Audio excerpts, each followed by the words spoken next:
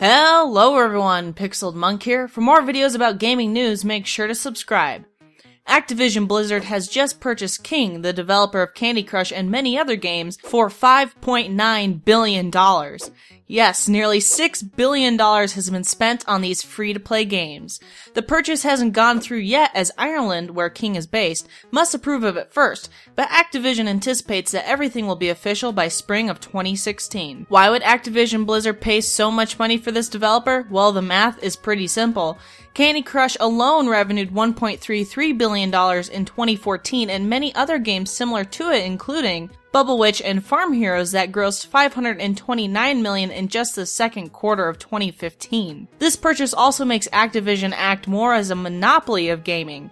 Activision CEO Bobby Kotick states, "The combined revenues and profits solidify our position as the largest, most profitable standalone company in interactive entertainment." With a combined global network of more than half a billion monthly active users, our potential to reach audiences around the world on the device of their choosing enables us to deliver great games to even bigger audiences than ever before.